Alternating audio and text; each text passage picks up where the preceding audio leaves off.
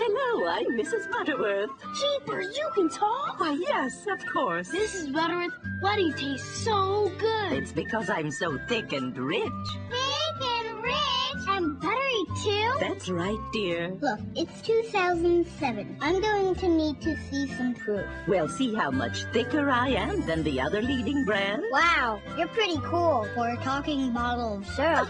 Mrs. Butterworth, so thick, so buttery. And still just as sweet.